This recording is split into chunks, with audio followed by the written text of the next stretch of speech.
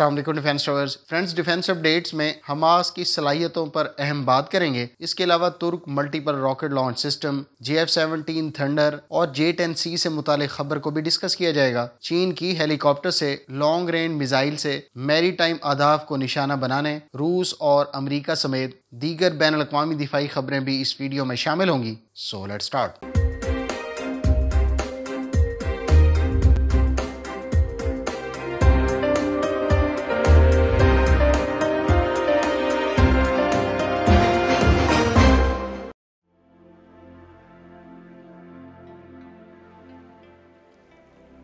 Friends मैं गुजशत चंद दिनों से सोशल मीडिया पर देख रहा हूँ कि लोग दावा कर रहे होते हैं कि काबिज इसराइली फ़ौज के ख़िलाफ़ बरसर पैकार, मजामती तंजीम, हमास के पास फ़लाँ फ़लाँ रॉकेट मिज़ाइल और दीगर कई तरह के वेपन्स मौजूद हैं। इसी तरह से हालिया दिनों में कुछ वेबसाइट्स पर भी ऐसे दावे किए गए हैं कि हमास के पास फलां फलां कैटेगरी के लॉन्ग रेंज गाइडेड मिसाइल्स भी मौजूद हैं। लेकिन इन वेबसाइट्स और सोर्सेज की अगर छानबीन की जाए तो इनके ताने बाने इसराइल से जा मिलते हैं। इस तरह की दावेदार ज़्यादातर इंडियन वेबसाइट्स हैं। मेरे ख्याल से हमास की ताकत को बढ़ा चढ़ाकर इसराइल और उसके इतिहादी इसलिए पोर्ट्रे करते हैं कि इसराइल को ये जवाब मिल सके कि इसराइल जो कुछ भी कर रहा है, वो अपने सेल्फ डिफेंस में करता है और उसको हमास से बहुत ज़्यादा ख़तरात लाक हैं। हालाँकि हमास इसराइल जैसी एटमी ताकत और फौजी कुत के मुकाबले में अपने दिफा के लिए महदूद वसाइल और अनगाइडेड देसी साख्ता रॉकेट्स इस्तेमाल करता है। हमास की जानब से इन रॉकेट्स का इस्तेमाल हर दफ़ा इसराइली जहारियत के ख़िलाफ़ सेल्फ डिफेंस के लिए किया जाता है।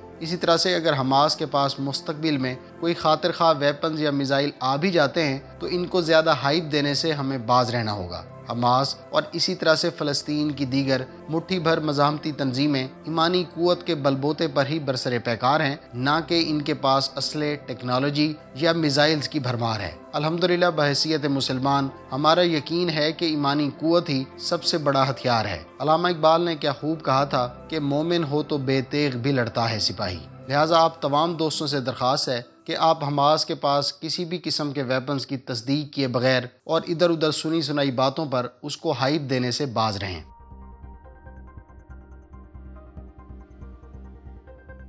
फ्रेंड्स, तुर्क कंपनी बीएमसी ने अपनी वोरान टेक्टिकल आर्मर्ड व्हीकल से रॉकेट सान के 107 मिलीमीटर mm के रॉकेट्स को फायर करके टेस्ट किया है। ये multiple rocket launch system 12 rockets को एक ही वक्त में फायर करने की सलाहियत रखता है। याद रहे कि वोरान, यानी स्ट्राइकर एक आर्मर्ड पर्सनैल व्हीकल है और इसमें नाइन पर्सनैल को कैरी करने की सलाहियत मौजूद है। ये अपने क्रू मेंबर्स को हाई लेवल प्रोटेक्शन फ्राहम करती है।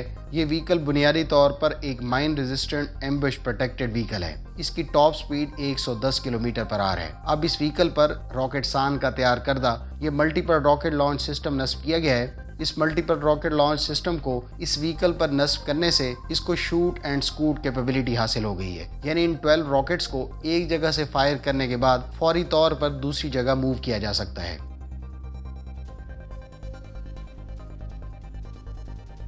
फ्रेंड्स, इतलात के मुताबिक पाक फिजाइया के J F seventeen thunder aircraft जून के पहले हफ़्ते से तुर्की में शुरू होने वाली अनातोलियन ईगल मशकों में शिरकत करेंगे। याद रहे कि अनातोलियन ईगल एक्सरसाइजेज जून 2001 से तुर्की के शहर कूनिया में मुनद होती आ रही हैं। इन एक्सरसाइजेज में नेटो ममालिक की एयरफोर्सेज के अलावा यूएस और जॉर्डन की एयरफोर्स भी शिरकत करती आ रही है। 2004 से पाक फिजाइया भी इन मशकों में पार्टिसिपेट कर रही है। इन मशकों के 19वें एडिशन में 17 से 28 जून 2019 में पाक फिजाइया के जे एफ़ सेवनटीन तैयारों ने पहली मरतबा पार्टिसिपेट किया था। लिहाजा हालिया शमूलियत जे एफ़ सेवनटीन थंडर के लिए दूसरा मौका होगा।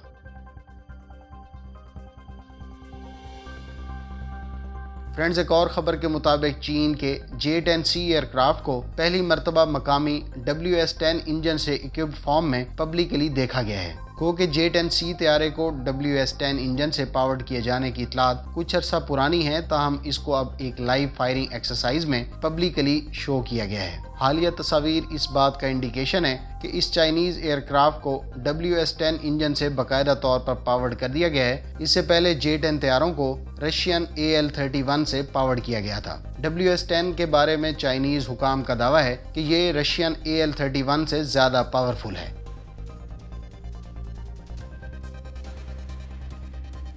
फ्रेंड्स इतलात के मुताबिक चीन ने गुजशत दिनों लाइव फायर एक्सरसाइज में सर्वेलेंस ड्रोन की गाइडेंस से हेलीकॉप्टर से long range maritime target पर कामयाबी से मिसाइल फायर किया। इस टेक्निक को मुस्तबिल में कॉम्बैट एफिशिएंसी को मजीद बेहतर बनाने के लिए भी इस्तेमाल किया जा सकता है। हालिया तजर्बा पीपल्स लिब्रेशन आर्मी की सेवेंटी फ़र्स्ट ग्रुप ने कंडक्ट किया। इन मशकों में ट्रूप्स ने सबसे पहले रिकॉनेसेंस ड्रोन लॉन्च किया, जिसने कई हज़ार मीटर की बुलंदी से उड़ते हुए मैरी टाइम टारगेट को डिटेक्ट आइडेंटिफाई और ट्रैक करके ये मालूम कमांड सेंटर को रियल टाइम में फराहम की। ऑर्डर्स मिलने पर Z-19 हेलीकॉप्टर ने ड्रोन गाइडेंस की बुनियाद पर हदफ की तरफ़ मिसाइल लॉन्च किया। इस तजर्बे में दोनों स्टेशनरी और मूविंग टारगेट्स को कामयाबी से निशाना बनाया गया।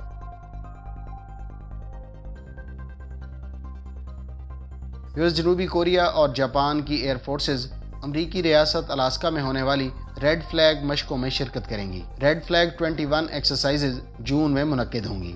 एक और खबर के मुताबिक लॉक हिड मार्टिन ने प्रिसीशन स्ट्राइक मिसाइल का चौथा कामयाब तजर्बा किया। इस मिसाइल को M one four two high mobility artillery rocket system launcher से फायर किया गया।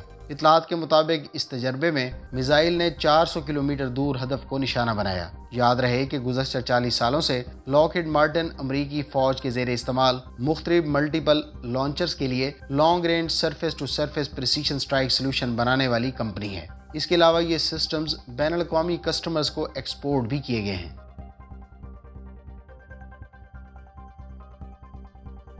फ्रेंड्स रशियन आर्मी को एक सौ बावन मिलीमीटर की ट्रैग सेल्फ प्रोपेल्ड हॉइट्जर के पहले बैच को डिलीवर कर दिया गया है। अकार्चिया सेल्फ प्रोपेल्ड हॉइट्जर सोवियत दौर की 2S3 का इम्प्रूव वर्जन है। ये नया system basic high explosive shells को 17.4 किलोमीटर और रॉकेट असिस्टेड प्रोजेक्टाइल की मदद से एमुनिशन को 20.5 किलोमीटर के डिस्टेंस तक फायर कर सकता है। इस सिस्टम में automatic fire control system satellite navigation और नया कम्युनिकेशन सिस्टम भी नस्ब किया गया है।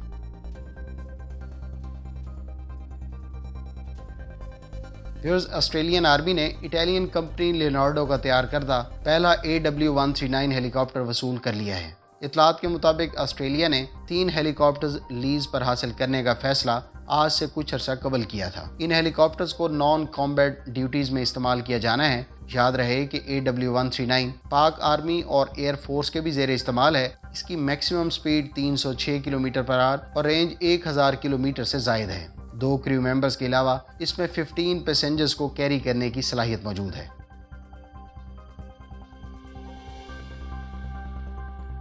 यूएस यूक्रेनियन वेबसाइट के मुताबिक यूक्रेन की नेवी इस साल तुर्की से टी बी टू ड्रोन वसूल कर लेगी। इन ड्रोन्स का पहला बैच मुमकिन तौर पर ब्लैक सी और ओजोफ सी में रिकॉनेसेंस और सर्वेलेंस मिशन के लिए तैनात किया जाएगा। T B two drone medium altitude long endurance drone है।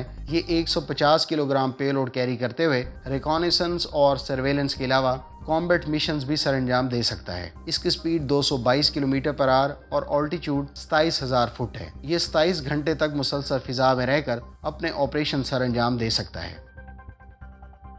फ्रेंड्स, ये थी आज की डिफेंस अपडेट्स आपको इन खबरों में से कौन सी खबर अच्छी और दिलचस्प लगी कमेंट बॉक्स में इसका इजहार ज़रूर करें। अगर आप वीडियो यहाँ तक देख चुके हैं तो इसको लाइक कर दें। चैनल पर नए हैं तो इसको सब्सक्राइब कर लें। मिलते हैं नेक्स्ट वीडियो के साथ। अपनी दुआ में याद रखिएगा। अल्लाह हाफिज़। पाकिस्तान, जिंदाबाद।